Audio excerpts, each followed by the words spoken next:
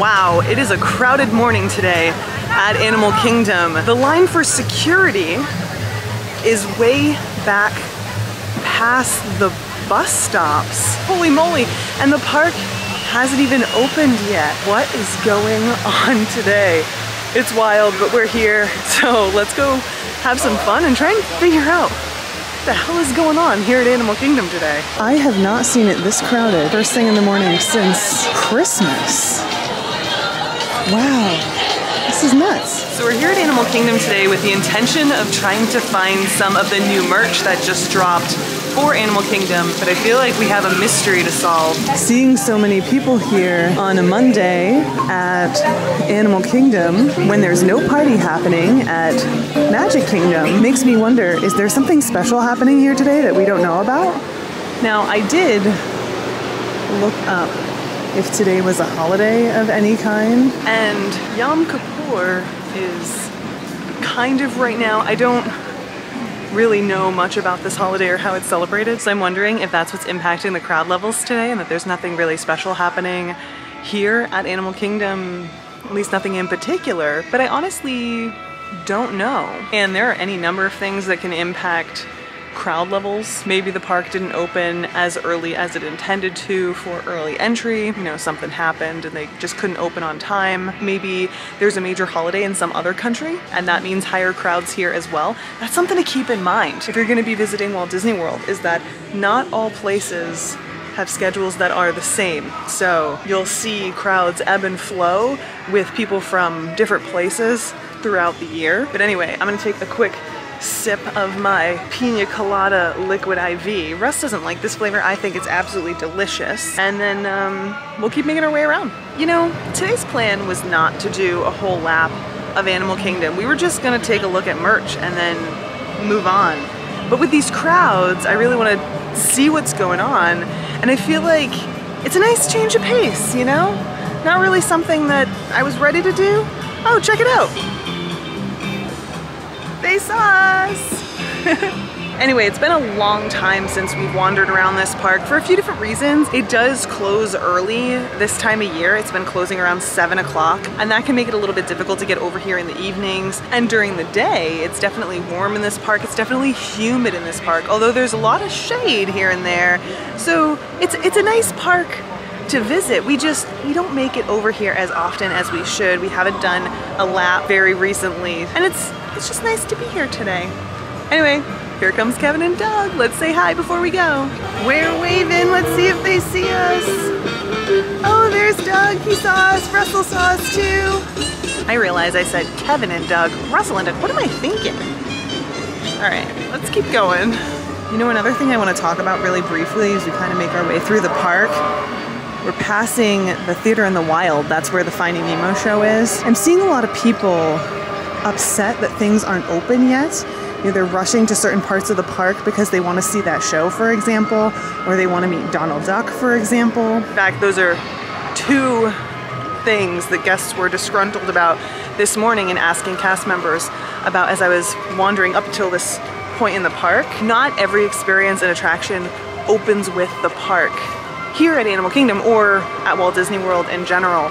Especially character meet and greets and stage shows, they do have a schedule, so make sure you check that before you make your way over to that attraction so you're not disappointed when it's closed. You may also find that shops and restaurants aren't open with the park either. So just keep that in mind kind of before you invest in what direction you're gonna walk heading into the gift shop for Expedition Everest to see what they've got. Are these new pieces of merchandise? I think they are. We do have a limit five per guest. It's a pretty great shirt. Got a kid's shirt too. Little plushy snow leopard. Let's see what else we can find in here. All right, these are new. All right. I love this color. This like green blue. I feel like you can't see it as well on the camera. It's a great, great color. This is different though. This is not a Disney piece of merch. It's like a third party piece of merchandise. We see that sometimes on this attraction as well as on Pirates. There are a lot of cute shirts on Pirates that are third party. I uh, think Daddy's a little. Let's check the price on this hat. So this hat is $29.99. This shirt does not have a price. Should probably check the price on these new shirts. Let's see.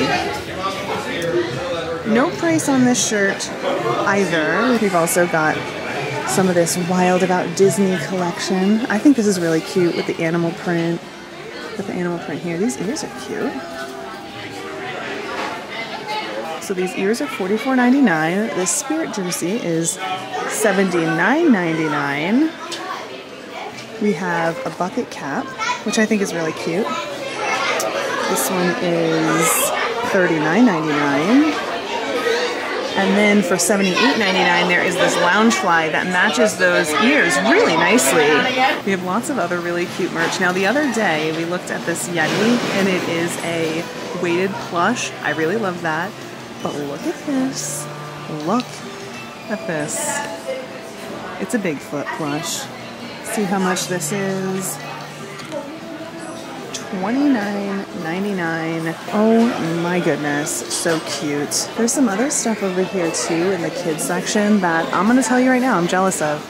This little crop top. It's got the mask on it, really cute. Got the Yeti Ski School, very cute. Then there's this pullover, which is really cute. But you know, you guys, it is so hot. I can't wear this. $54.99 for that. Now check out this Loungefly hat. I've never seen anything like this here. It is so cute. This one is $34.99. For $44.99, they have this crew neck long sleeve sweatshirt. This is one that I really like, you know, it's like terry on the inside as opposed to like fluffy. I like that lots of cute merch here right now. You know, it's kind of funny to think that just yesterday I was talking about how unimpressed I was with the merch dropping over at Magic Kingdom and now here we are at Animal Kingdom and it's like tons of stuff. And I just, I just went in one shop. It's gonna be an interesting trip around the park. We're gonna keep making our way around. You know what's funny? I just heard someone say something about Mr. Kamal's fries. They said that the fries are the same, but the sauces are different. And so we're, we're right here, so I wanted to take a look at the menu. And yes, seasoned fries only served with sriracha mayonnaise. What's that about? Part of what made those seasoned fries awesome is that you had a few different dipping sauces to choose from. And I think there were more, then it got whittled down to two. I'm sad that there's only sriracha mayo now though. How average. We're not gonna let that keep us down. We're gonna keep walking down this secrety path. Don't let this path fool you. It is very crowded here today, at least for this time of year. And for a Monday. Normally people like to go to Magic Kingdom on Monday, so the other parks tend to have a little bit lighter crowds, although Epcot, Epcot's doing those annual pass holder and DVC previews of Journey to Water, so that might be packed. That might be part of the problem too. In fact, I know that there are no reservations for that park right now. Actually, I don't think there's any reservations for tomorrow either. So maybe that's contributing to this issue. Either way, we're gonna keep making our way around the park. Here's the line for the safari. Check out this hidden Mickey we just spotted, thanks to a dad that's walking away with his family. This is one of those temporary hidden Mickeys that it's here today, might be gone tomorrow. Right, let's make our way to Pandora. I feel like we definitely need to find a quiet spot to sit down for a second and check wait times because I'm very curious as to see what the wait times are for attractions here today. Because sometimes crowd levels can be really deceiving. So we'll take a look here in a second. I'll be honest with you, we're having a little bit of a hard time finding a shady spot to sit for a minute, so this will have to do.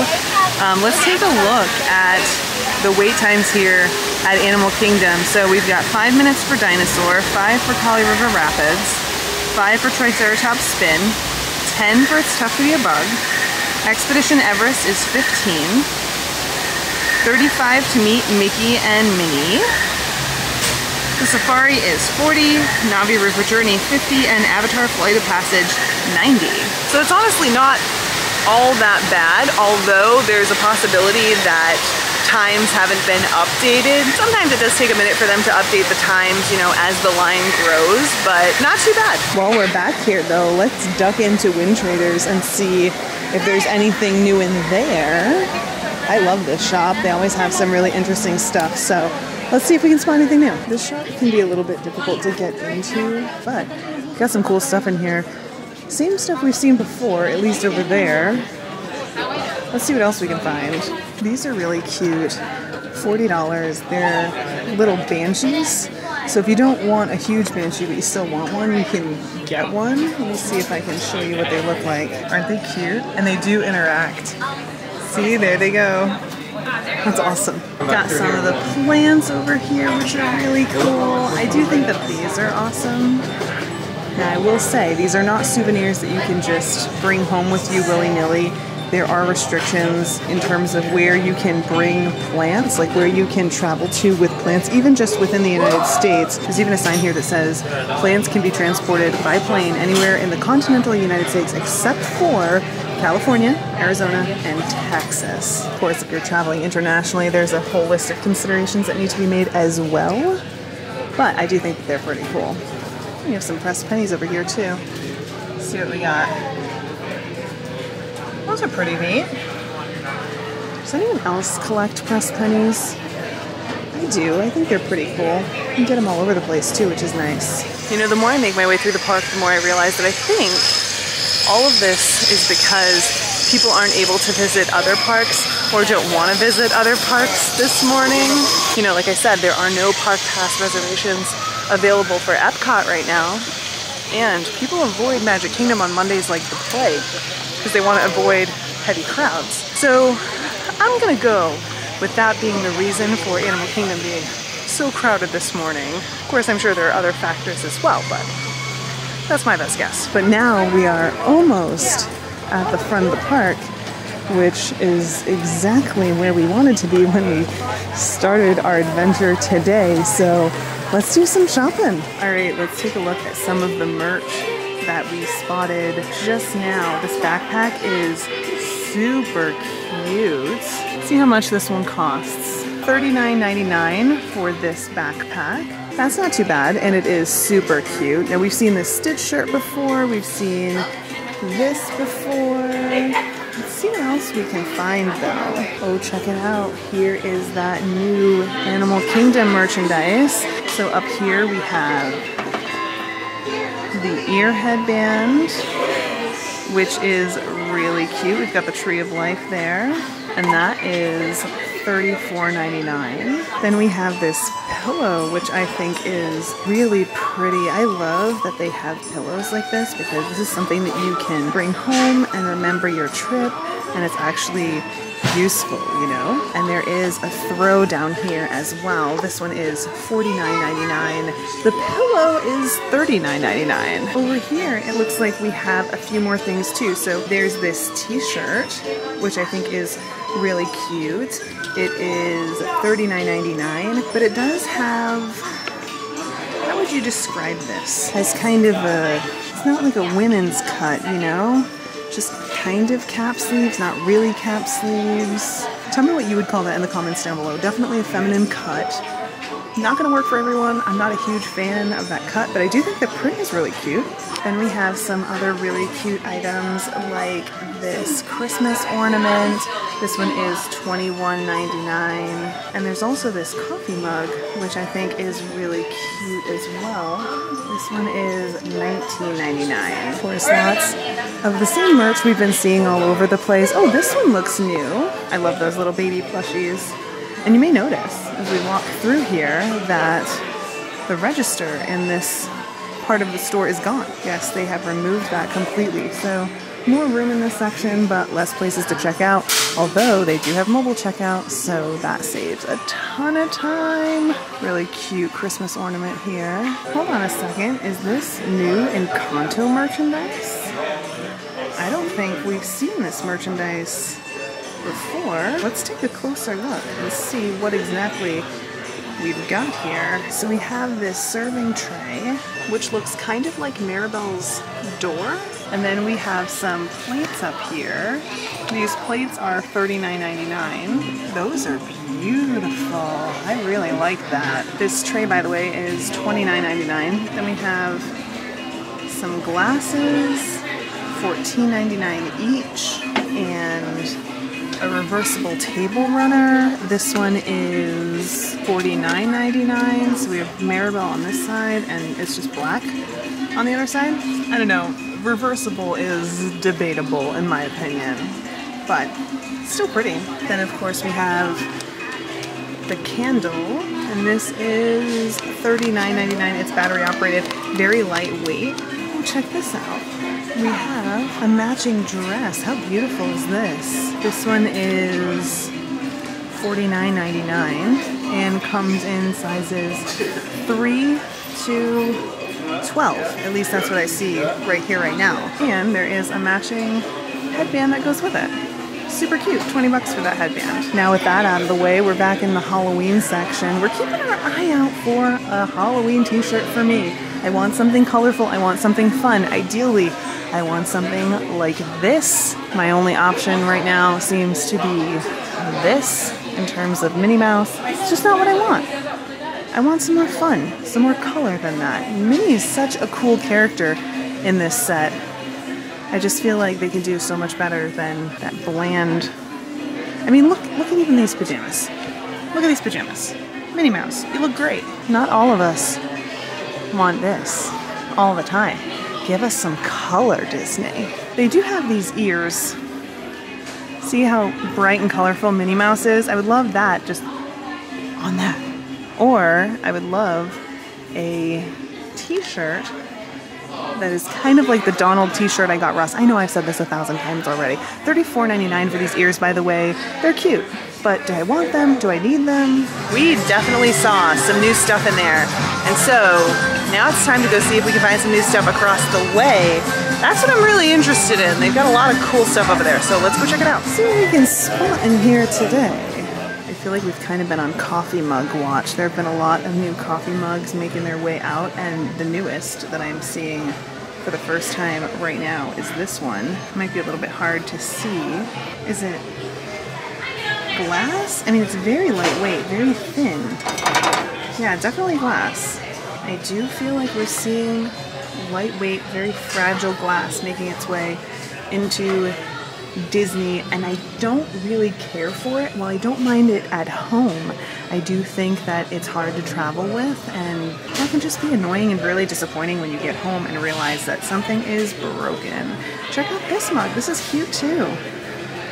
This one is $19.99. Looks like we also have some new water bottles here. Really cute. This is a Pirates of the Caribbean one. And there are some sippers down there. Let's take a closer look though. So this is a Cars one. That's cute. I really love that. $29.99, very lightweight. I don't know that it's insulated, but it'll definitely do the job. Then we have this one, Pirates of the Caribbean, very cute. How much is this one? $34.99 for that one. Very adorable. Nice additions. We love water bottles here. So I was just walking past this section and it looks like we do have some of the Decades collection from the 90s here. So we've got Darkwing Duck and we have the Goofy movie Loungefly. I didn't realize that there was this really cute Magic Band Plus as well. Tough to be a bug. Or, well, not as tough to be a bug. A Bug's Life. Really cute. Where are the ears? Oh, here they are.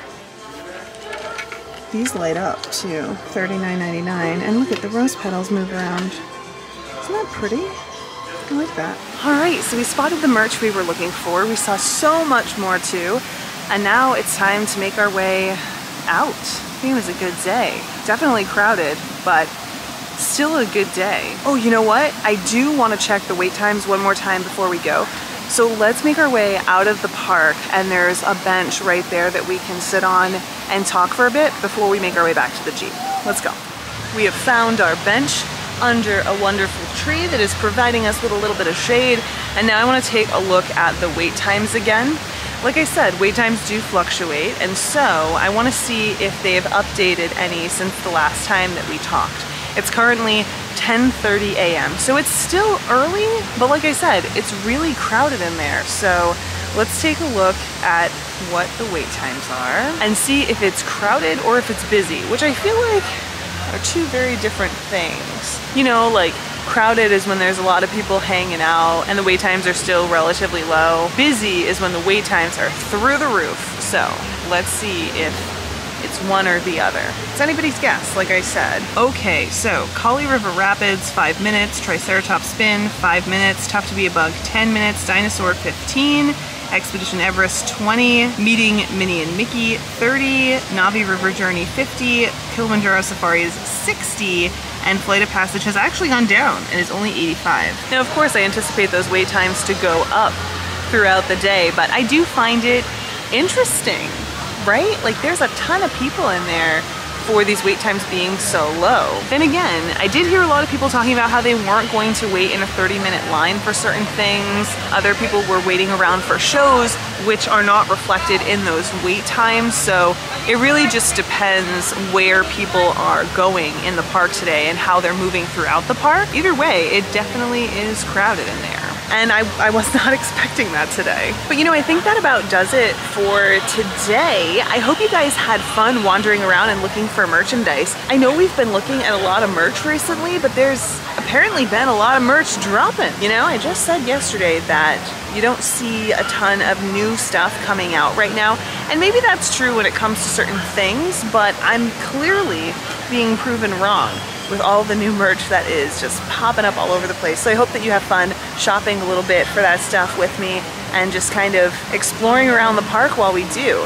Like I said, there wasn't anything special happening here today, not that I noticed. I mean, I was checking just different information as we were wandering around to see maybe something new had opened. No, not that I can tell, but like I said, it is Monday. I know that you're seeing this Tuesday. People like to avoid Magic Kingdom on Monday because people like to start their trip over at Magic Kingdom and with those Journey of Water previews for annual pass holders and Disney Vacation Club members happening over at Epcot, it has been very difficult to get a park pass reservation for those parks. So unless you have a park hopper and plan on hopping over there later in the day, on a day like today, especially if you want to avoid Magic Kingdom, you're stuck with Animal Kingdom or Hollywood Studios. And I think the Animal Kingdom is a great choice for this morning. It was overcast to start the day, although the clouds have kind of burned off. And it is warm, especially for those of you who are traveling from colder climates. This can still be really, really hot. And you've seen me kind of sweating throughout today's video, which brings me to another point that I want to talk about really briefly. We'll talk about this more some other time, but I think there are a lot of people who see people like me